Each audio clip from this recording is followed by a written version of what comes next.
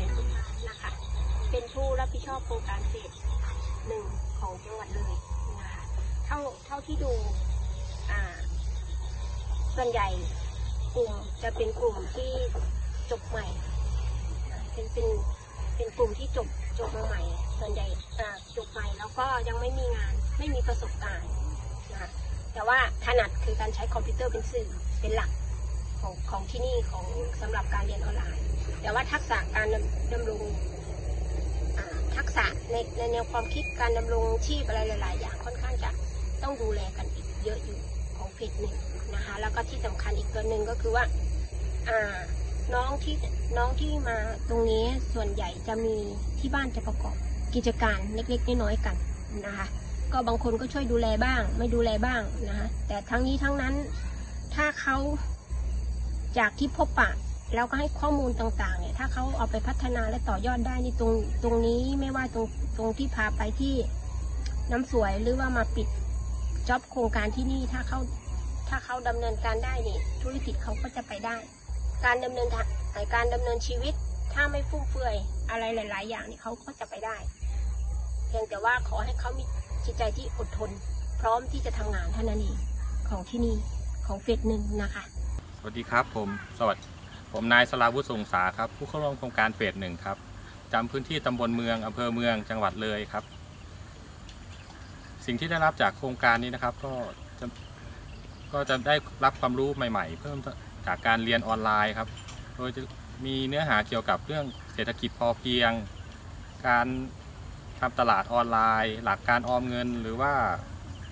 เป็นการลงทุนในช่องทางต่างๆนะครับ ก็ สิ่งที่ได้รับที่คิดว่าจะนำไปใช้ในชีวิตประจำวันได้ก็จะเป็นเกี่ยวกับการทำตลาดที่เท่าหรือการขายของผ่านทางช่องทางออนไลน์อาทิเช่นพวก Facebook Instagram YouTube หรือ Twitter นะครับ ขอบคุณมากครับ สวัสดีค่ะ ชื่อธนพรมนทีค่ะ อยู่พื้นที่ตำบลชัยพฤกษ์อำเภอเมืองจังหวัดเลยค่ะ เข้าร่วมโครงการตั้งแต่เฟสหนึ่งค่ะ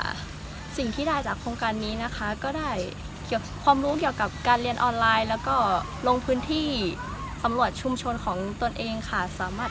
สิ่งที่สามารถนำไปต่อยอดได้นะคะ ก็คือคือ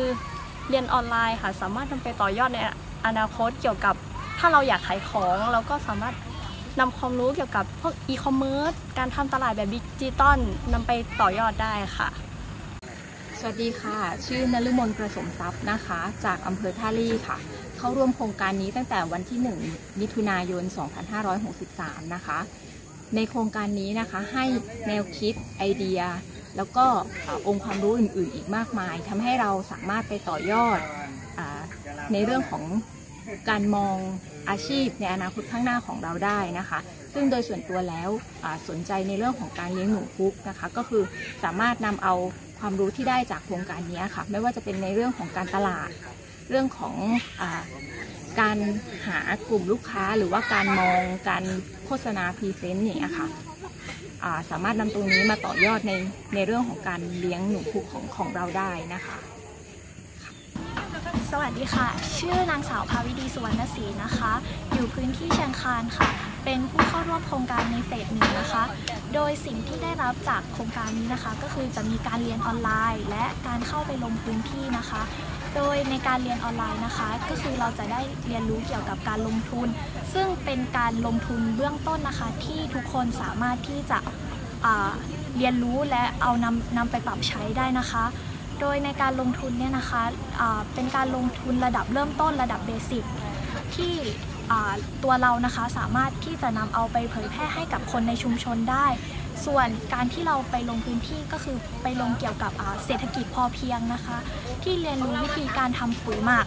ซึ่งในการทำปุ๋ยหมักเนี่ยนะคะ เราก็สามารถที่จะเอานำไปเผยแพร่ให้กับคนในชุมชนได้ อีกทั้งยังมีการสำรวจพื้นที่นะคะว่าในพื้นที่ของเราเนี่ยมีมีปัญหาหรืออข้อบกพร่องอะไรนะคะที่เราสามารถที่จะนำไปแก้ไข แล้วก็สิ่งที่ได้ก็คือเราสามารถอเอาสิ่งที่เราได้จากการเรียนรู้ทั้งหมดในโครงการเนี้นะคะนำไปต่อยอดและก็ปรับใช้ในพื้นที่ของตนเองได้ค่ะ ขอบคุณค่ะ